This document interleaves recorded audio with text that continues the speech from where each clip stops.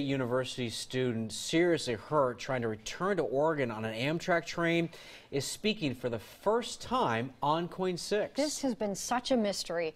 The family of Aaron Salazar says that Amtrak originally tried to suggest that he may have tried to jump, but Salazar is saying otherwise. Our Jennifer Dowling talked to the family and has more now from Aaron himself. That's right. This is the first time we're hearing from Aaron, and he's telling us in his own words that he would not have tried to kill himself by jumping from that train. Back in May, Aaron was found in Truckee, California, on the side of the railroad tracks, unconscious.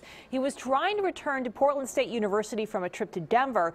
When Aaron was found, he had burns to his lower body, and his cousin said medical experts told them after he was examined that it appeared as if he were beaten. Sonia Trujillo says that Amtrak investigators initially told the family it looked like an apparent suicide. She says now that Aaron is able to speak for himself, he's contradicting those statements.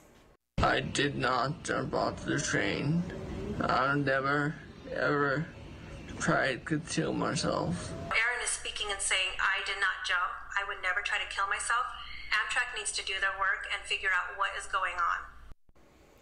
Some Oregon lawmakers and legislators in Hawaii, where Aaron attended high school, are requesting more information from Amtrak. This letter to the president and CEO of Amtrak states, We expect that Amtrak will conduct a thorough investigation and provide us and the Salazar family with a comprehensive and timely report of events leading up to his injuries. Amtrak released this statement in response to our request for more information, saying, We are glad Aaron is improving and we look forward to talking with him and any other witnesses as part of the investigation.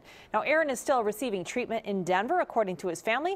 They say right now he's concentrating on learning to walk again. They set up a GoFundMe account to help make his home handicap accessible. Back to you. Our thoughts are certainly with him. Thank you, Jennifer.